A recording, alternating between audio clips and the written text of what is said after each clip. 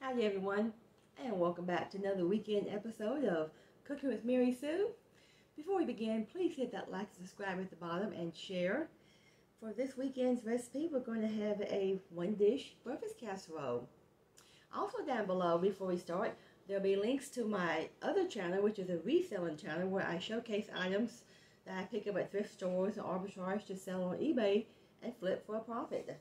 Also be a link below to my eBay store and there'll be a link below to my husband's uh, channel called Brother Claude Reflects. Now today we're going to concentrate, I'm going to make another little breakfast recipe, casserole. I love making one dish casseroles. They're easy, they're simple, you have less cleanup at the end, not a lot of pots and pans, and they're, I don't know, they're just fun to make. I like throwing different things together, make different recipes. I don't really concentrate on uh, recipes that where it's just set in stone, where you can't interchange things.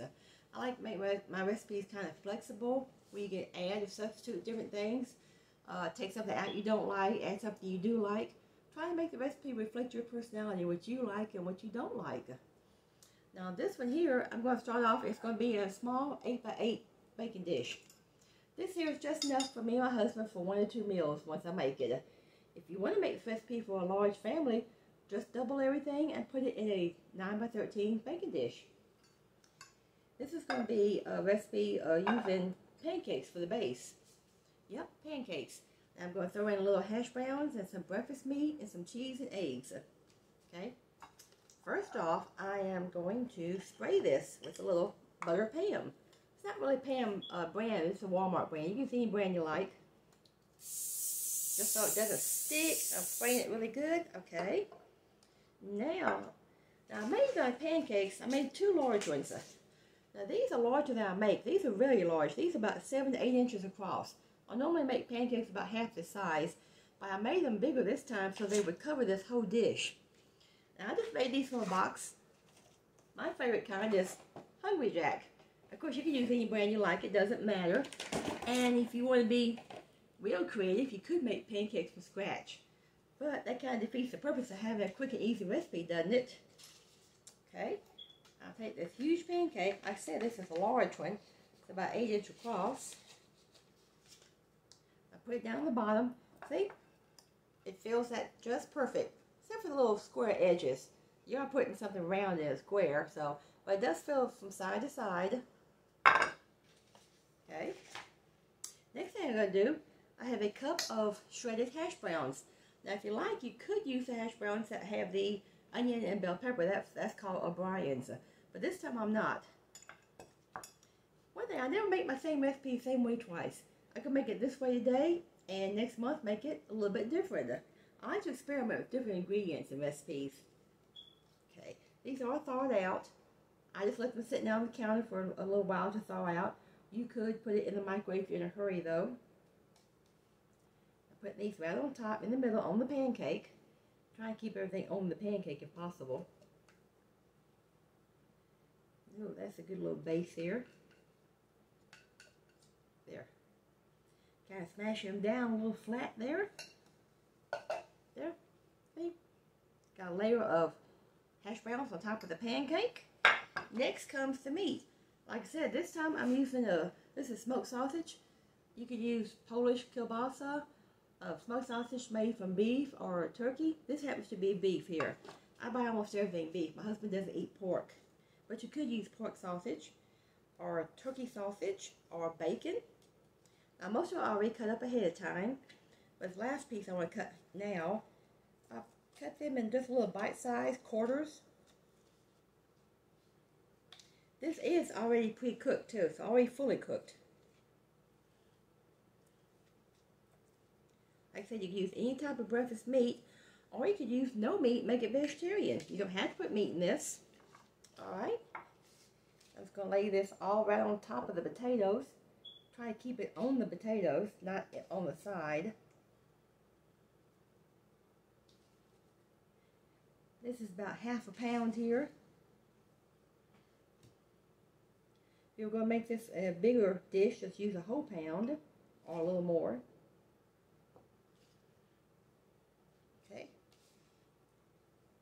I like smoked sausage in different recipes. Has a nice little flavor to it. Like I said, what I'm using here is beef smoked sausage. You could use pork, or you could use beef brats. I've used those before in recipes. Brats are very good. Alright. There. I got all of it right on top. I'm trying to keep everything on top of the pancake if possible. Not let it fall off. I want everything on my pancake. That's why I make such a large pancake. Okay, I'm going to mash it down a little bit so it keeps, okay. That's about it. One more piece keeps falling off. there. I've got that right there on top. Move this out of the way over there. Wipe my hands off a little bit. Okay. Next thing I'm going to do is add four eggs to it. If you if you're making a larger one, 9 by 13, you probably need 6 to 8 eggs. I'm just using 4 in this one. Okay. Uh, come on. Don't give me a problem. I don't want any problems breaking.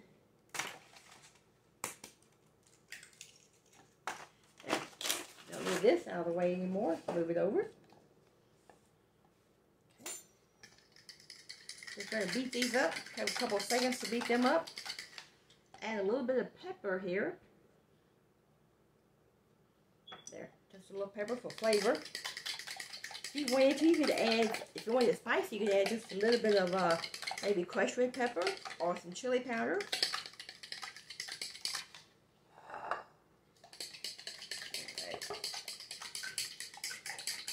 Make sure you can beat very well. That's pretty good. I'm going to try to slowly pour this. Try to keep it right on top for the moment. It's going to run over. Okay. Alright. There. Got the egg mixture in there. Now the cheese. I really don't measure this. I just kind of cover it. I'm using extra sharp. That's what I use most of the time for most of my recipes. But you can use any flavored cheese you want to. You use a taco flavored cheese or Italian flavor or a feta. Doesn't really matter. Like I said, my ingredients are flexible. You can make this however you like it for you and your family. Now I'm going to put a top on this. Another pancake. Another large pancake. Going to kind of mash it down a little bit. Okay. Now, I want this time I had before you wanted to, you could sprinkle just a little bit of syrup on top before you cook this. Give it a little bit of sweet flavor if you wanted to. But I'm not going to this time. I might do that next time. I am going to cover this with aluminum foil before I cook it because the keeping the steam in will help the eggs cook faster and it will help keep the pancake moist and soft. I don't want the pancake to get hard and burn in the oven while it's cooking. I want it to stay soft. Alright spray the back of this just a little bit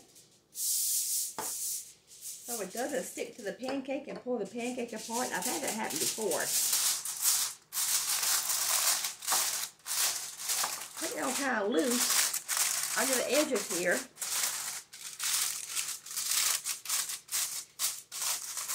It's going to cook in the oven on 350 for about 30 minutes. That gives enough time for the egg to get done and the potatoes to finish to cook. That's it right there.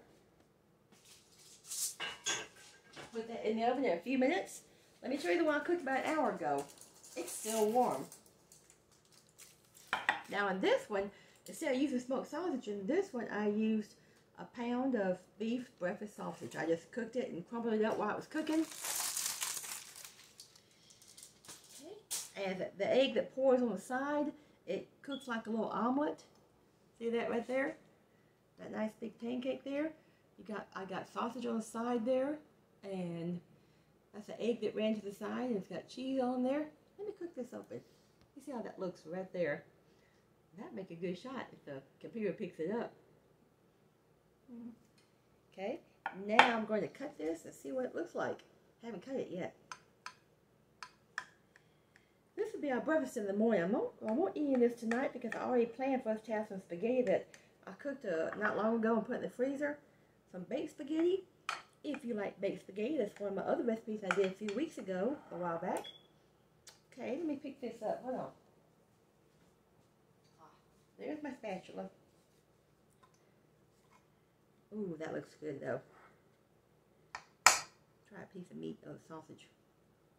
Mmm, mm-hmm.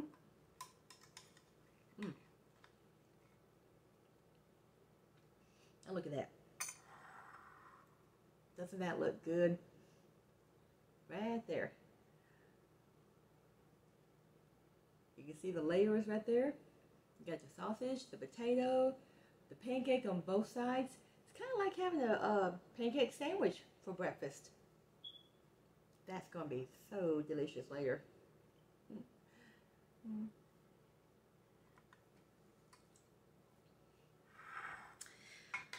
I end here, I want to give a little thank you to some of the people in my life uh, that kind of encouraged me to continue with this. Like uh, a husband, for one, he loves me doing these recipes because he loves to eat what I cook. And my sister is very encouraging. And I have a very, very good friend that we've been friends for over, I hate to say this, over 40 years. Her name's Kathy. She'll know who she is when she sees this. God bless y'all and God bless everyone else out there. Y'all have a good week. I'll be back next weekend with something else. Bye for now.